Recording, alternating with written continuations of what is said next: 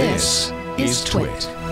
Leo Laporte, the tech guy. Time to talk automotive technology with Sam Abuelsamid. He is our uh, our car guy, principal researcher at Guidehouse Insights. He's also a car podcaster, Wheel Bearings. His podcast is at wheelbearings.media. Hello, Sam. Hello, Leo. How are you this week? Well, we're a little down in the dumps. Turns out our 2019 Chevy Bolt's going to have to go back to the shop. I guess all of them are. Yeah. Um, so uh, late on Friday afternoon, uh, about uh, 4:30, uh, you know, right after the markets closed on Friday, GM put out a press release, and a few minutes later, I started getting calls from reporters. Um, uh, they uh, they previously had done a couple of recalls on the Bolt. Um, for an issue with the batteries. There, you know, you may have heard that there's been some bolts that caught fire. The batteries caught fire. Uh, in fact, you know, the actual number of vehicles was a grand total of seven. Um, so, I mean, it wasn't a very widespread problem, but it's it's a serious issue if it does happen.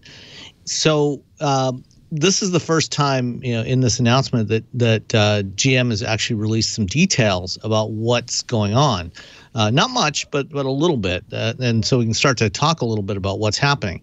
And in fact, uh, prior to prior to this announcement on Friday, the recall only covered the 2017 to 2019 model year cars, which had the there were the older models that had the six the original 60 kilowatt hour battery pack.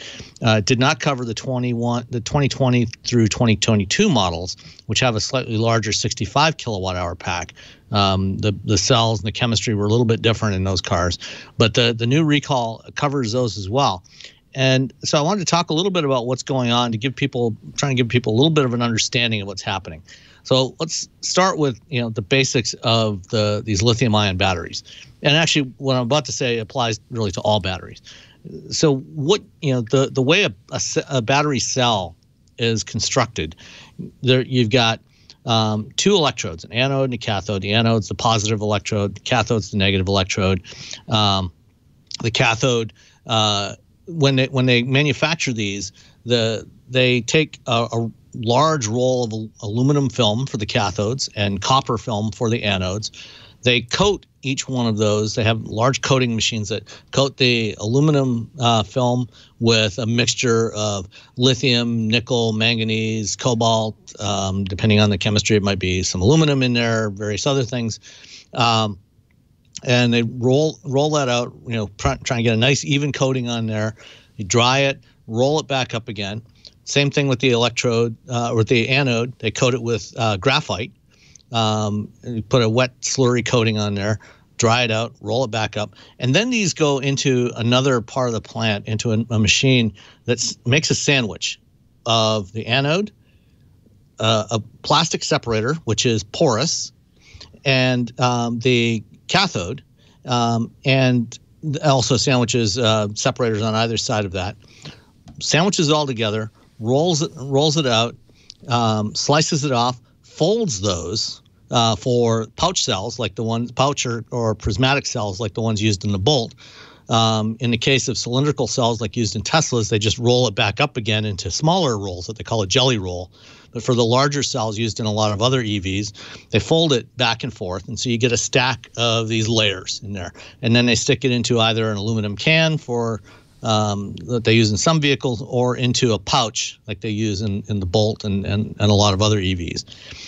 Um, when they do that, sometimes, uh, apparently, what has been happening with these cells in the Bolt is they're sometimes getting like the edges of the separator um, actually being folded um, a little bit.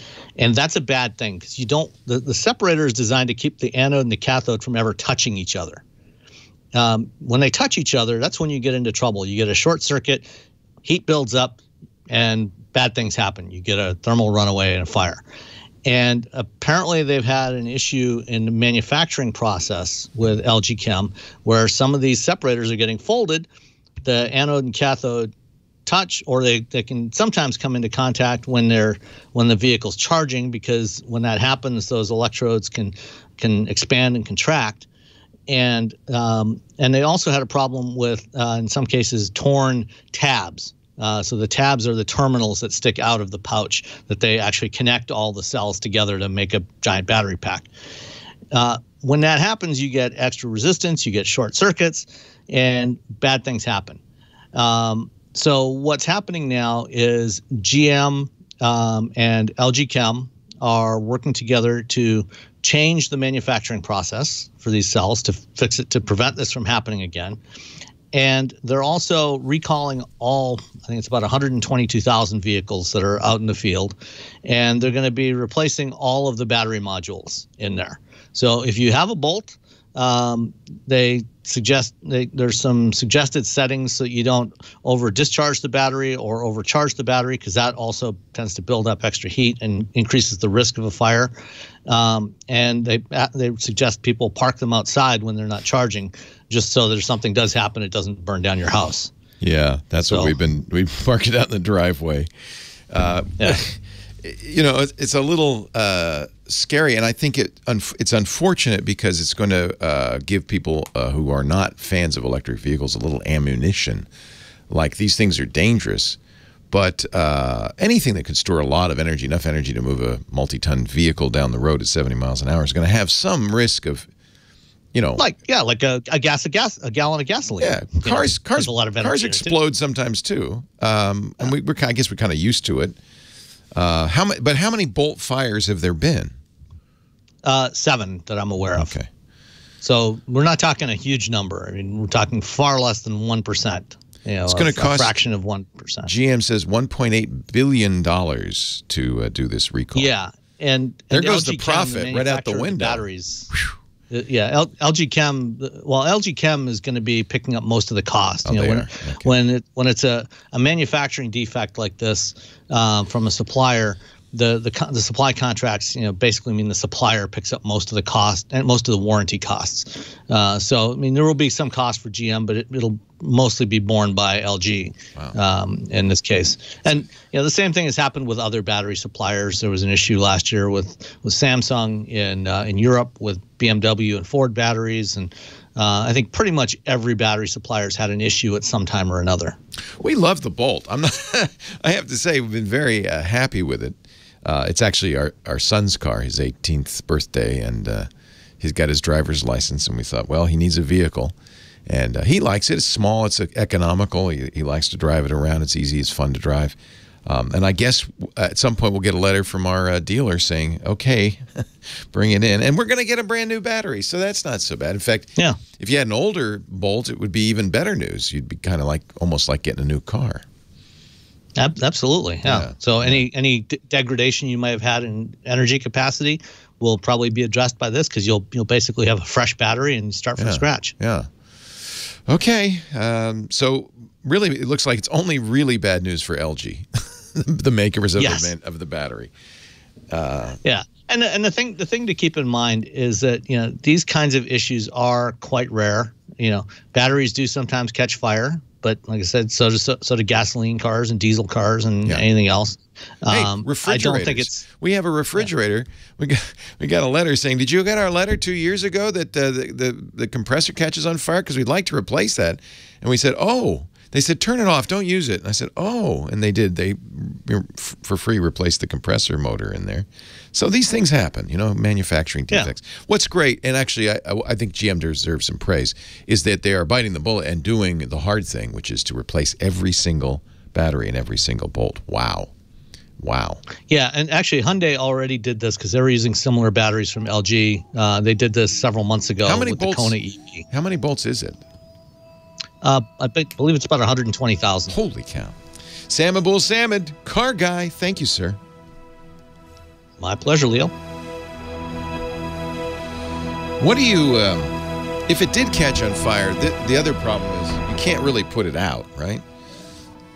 Yeah, that's that's the bigger challenge. It's just extinguishing battery fires. Yeah. Um, because they, they do generate oxygen internally from right. as the electrolyte heats up. And so you know you can you can smother it but it still tends to burn inside and you basically just have to let it burn itself out which is why you don't want it in your garage. exactly. Yeah. It's outside, it'd probably be okay. Yeah, we're we uh, we you know parking it in the driveway, kind of far away from the house, and they were very clear that just don't charge it over ninety percent and don't discharge it fully.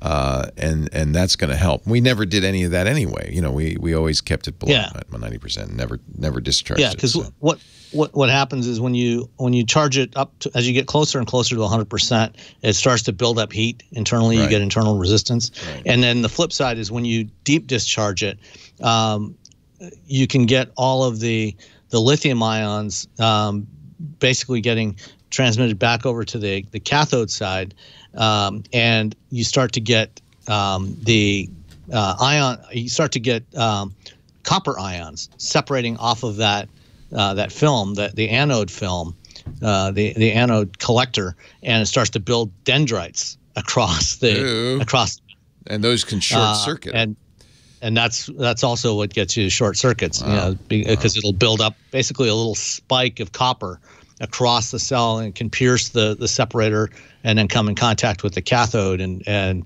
uh, give you that short circuit. wow.